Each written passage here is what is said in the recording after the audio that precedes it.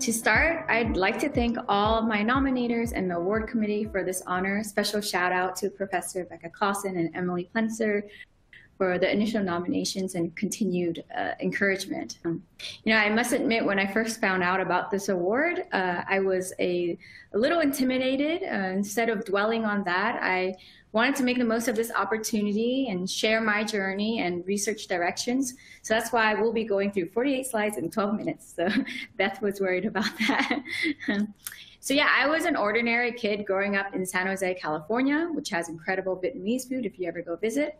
I never played an instrument, never played a sport, or attended any special camps. Uh, my parents were immigrants and they didn't go to college, and they didn't really push me to go in school. But I did reasonably well in terms of grades, not valedictorian or anything like that. Um, it was actually some college students nearby who came to my high school for an outreach event that encouraged me to apply to college. So I was lucky to live close to one of the best public schools in the world, uh, UC Berkeley. Going to Berkeley changed my life on so many levels. Through financial aid, I was able to take classes from the most inspirational professors, surround myself with so many creative peers, and experience new adventures. It was the first time I went on an airplane, for instance, and you know, live by myself. Uh, I ended up working for Professor Tsu-Jae King Liu in electrical engineering, where I studied etch rates and nanogaps for device fabrication my mentor Donovan Lee actually gifted me my uh, first chip that I made, which I have in my office. I still have it as a reminder of where I came from from a research perspective. And you know, looking back, uh, I think I was incredibly lucky to have had my first role model be a woman and also a Southeast Asian mentor you know, really having relatable mentors and role models contributed to my sense of belonging in the research group, especially in engineering, and allowed me to focus on growing as a scientist uninhibited. After graduating, uh, I actually needed to stay near home because my dad became ill. So I worked at the Molecular Foundry with Dr. Ron Zuckermann on the robotic synthesis of peptoids for nanomaterials and protein bond binding. Uh, so if you don't know Ron, Ron is this sort of calm, encouraging, all-knowing peptoid king that really empowered his undergraduates to pursue their scientific curiosities. He's still a close mentor of mine and has given me guidance throughout my entire career, really. For my PhD, I went to Columbia because I was captivated by this new professor named Luis Campos. He had all these crazy ideas in lab and teaching that I'm just now appreciating as a PI. Um, was, I was the first PhD awarded in the group, and I worked on block copolymers templates for nanostructured materials. This period is when I really became a chemist. It's the first time I used a Schlenk line, became comfortable using a rotovap, and really understood that I could make molecules that I dream of, right? Um, and it really showed me the power of chemistry. When I was thinking about my next steps, I wanted to work for someone who was doing the most exciting research in polymers, but also an incredible mentor. Uh, Zhenan was the perfect match. Um, what I did not expect was how much I'd learn about leadership, management, and grant writing, uh, she gave me space to discover what type of person I wanted to become. And it was here that I decided to become a professor. I worked on making semiconducting polymers concurrently degradable and stretchable. And I really saw how chemistry and engineering must be integrated to find solutions to today's challenges. You can see it was a huge uh, group as well. So it was my first time being in this type of environment. So I'd like to take a moment to really say that I can talk about my mentors for hours. Uh, they really shaped me uh, as a researcher, PI, and person. And these brief minutes do not really capture everything, but I must move forward. so my next step was uh, something that was really unexpected. I came to Canada uh, to start my own research group. And here, you know, I I, can't I can't really look back. I have the best students. Like I know I'm biased, but I I like to say I'm not as well.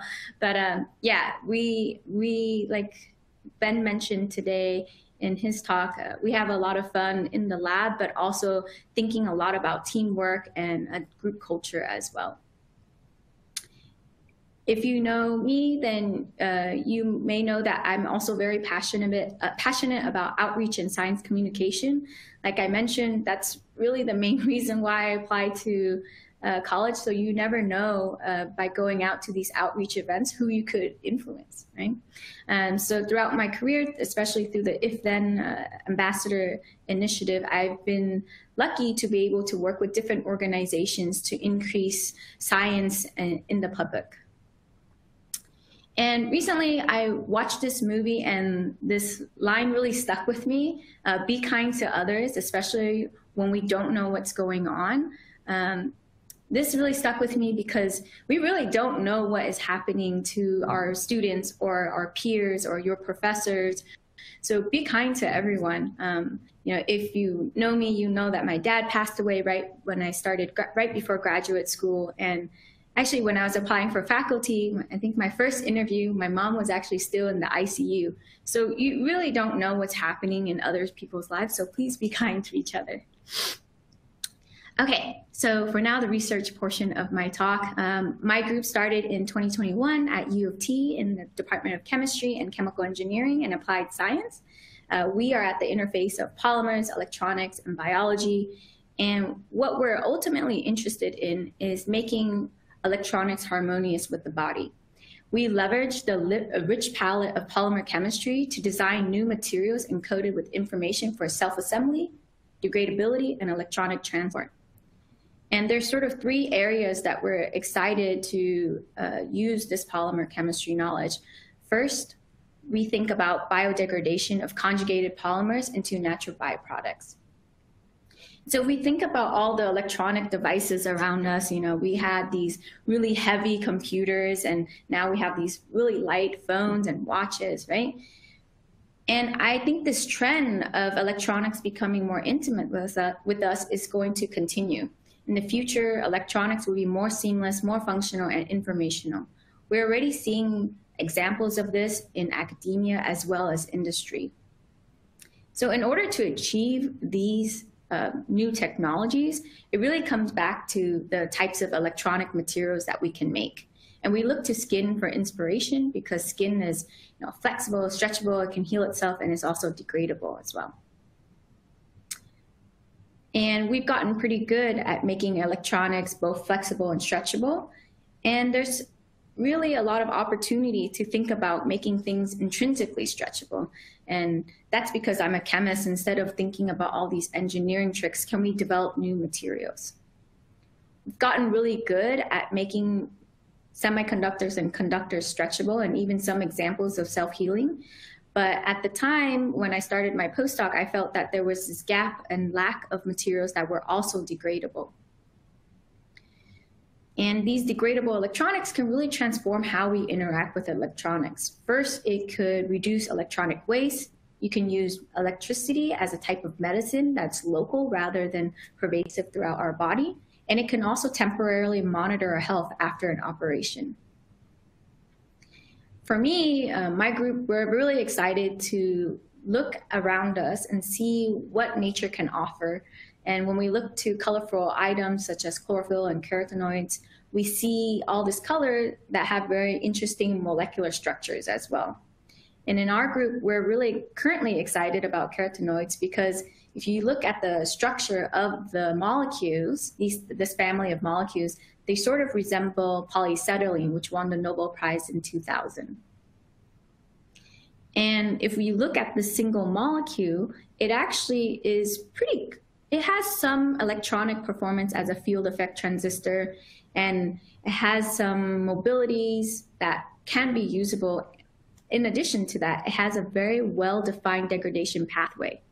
However, these types of polymers or molecules aren't very well soluble and we are interested in making polymer versions of them. By making it into a polymer, we can change the energetics of these materials. And one thing that we're currently thinking about is how to make them soluble. And to do that, we add these solubilizing side chain groups, which we know from other types of polymer chemistry uh, research directions. This is uh, some early work for you to see. Uh, this is work that one of my first graduate students have worked on. Uh, she's made these carotenoid polymers uh, without a side chain, it turns into this black powder that's not soluble in any solvent that we could find. However, as soon as she adds her side chains on, we can see that it's soluble in chloroform and it has some very distinguishing shifts in the UV vis, which is indicative of the extended conjugated backbone. And so currently Azalea is thinking about new ways of synthesizing these materials and understanding its morphology and implications on electron conductivity. In the second part of my group, we're interested in thinking about how do we make materials as soft as us, right? And so we look at functional bottle brush polymers. So all of you sitting and listening right now, your brain is actually moving quite a bit, if you can see in this image on the left panel. Now, if you stick something into this brain, our body re rejects it because it's trying to protect our moving brain, and it form it encapsulates the device that we insert, and therefore makes the device no longer able to communicate electronically with our body. In order to avoid this encapsulation, we can think about making materials really thin, like having a net or a fiber, uh, or yeah, like a really thin fiber. And these are sort of low bending stiffness architectures. However, these low bending stiffness architectures are still using materials such as metals and uh, uh, uh, plastics that are still orders of magnitude harder than our brain, our heart, and our skin. So in my group, what we're interested in are conjugated and non-conjugated bottle brushes. And you can see in this image that it overlaps quite nicely with uh, biological tissue. It also opens up opportunities for areas outside of human health, such as deep sea grippers. When we take these bottle brush architectures um, designs, we need to think about how to build them and what we can mix it with to impart electronic properties. This is work that another first uh, student in my group named Angela is working on. She's doing a lot of synthesis of different approaches of using conjugated molecules and bringing them together in order to synthesize these pretty complicated conjugated bottle brush polymers.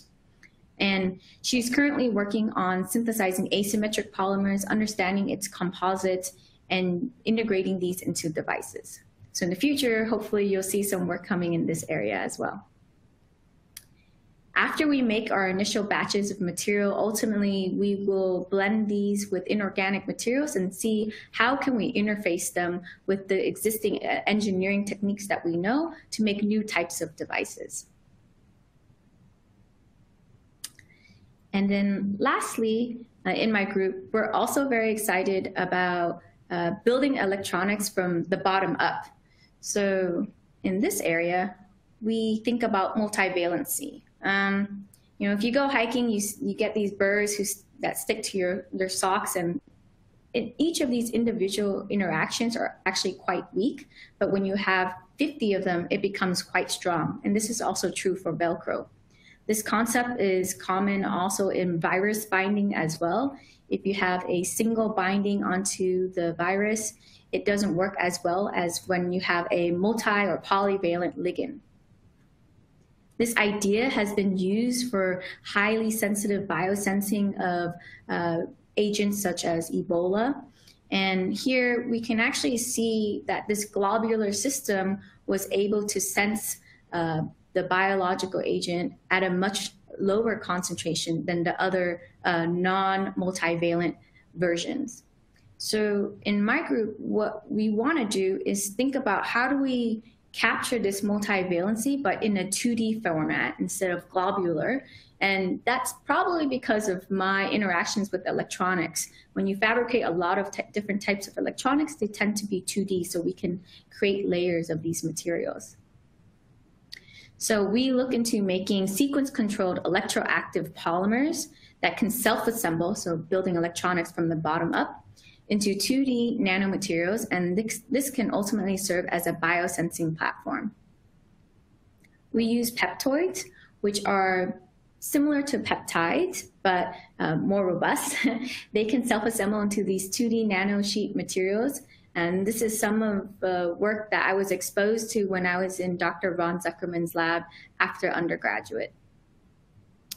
And this is one of my favorite photos as well. Um, they're ultra thin, around five inches, but they're they can be as wide as 100 microns long, and they're free floating in water, which is very different from a lot of 2D materials that may be free floating in organic solvents.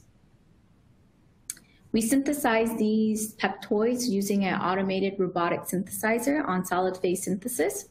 And it's sort of really nice because you can just, as an undergrad, actually, you just put all your chemicals you want into the robot and then boop, boop, boop, uh, synthesize the peptide that you want.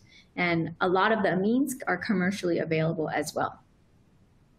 So Jan is a, also the third uh, graduate student who joined my group in the first year and he's interested into in introducing different types of moieties into these peptoid structures. There's hydrophobic and hydrophilic uh, compounds that could be there for um, uh, driving the self-assembly, but there's also interesting moieties that we can include, such as polyacetylene monomers. Uh, Abby is joined in my second year, and she's thinking about stepping away from the robotic synthesizer and uh, figuring out how to synthesize this on a much larger gram scale. So um, more to come. You know, we're still working and figuring out this chemistry, and eventually Abby's going to be looking into drug delivery applications as well.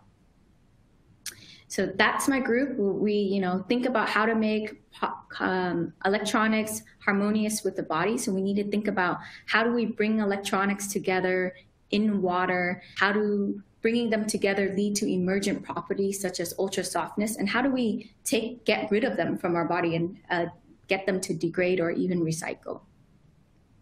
With that, I'd like to thank my research group, the best group in the world.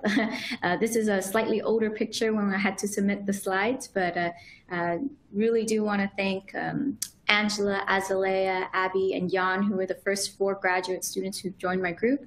And then we had uh, four more new students who joined this year, as well as the alumni, all my funding agencies, and everyone here for your attention.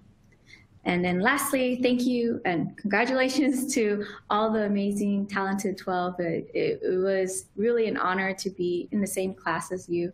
And I learned a lot by sitting in on these meetings and um, truly an inspiration. Thank you. Thank you, Helen. And thank you for that lovely last slide uh, for putting that together. That really wraps up the symposium nicely. I was struck by how, um, how many different areas of research your work uh, contains. There's inorganic mm. materials, polymers, and I'm just wondering, how do you approach moving uh, into new fields and different fields? Ooh, I think moving into new fields is because I had no idea what I was doing, and now I've painted the story that everything is connected. but really, I, um, you know, I, I was just guided by curiosity. Um, you know, I started in the electrical engineering lab because there was this gecko poster about nanostructures leading to interesting um, mechanical properties. Then I sat in on Rachel Segalman's course and I was like, ooh, polymers are cool. Let's go work for Ron Zuckermann. Um, and at that point, I maybe I realized that I wanted to make things, and that's why I did my PhD. Um, and then afterwards, I sort of just wanted to work for someone who I thought would be an amazing mentor. So they are different, um, and that's what makes I, I, hope makes my group unique because we're bringing different topics together.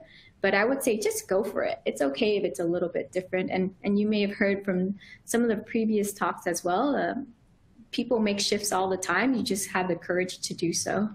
Uh, I think like Gabe, right? I think uh, he was working more on synthesis, and then now is doing all this uh, robotics and um, self-driving labs. So I think you just have to go for it sometimes. Don't play it too right. safe. All right. Thank you so much, Helen.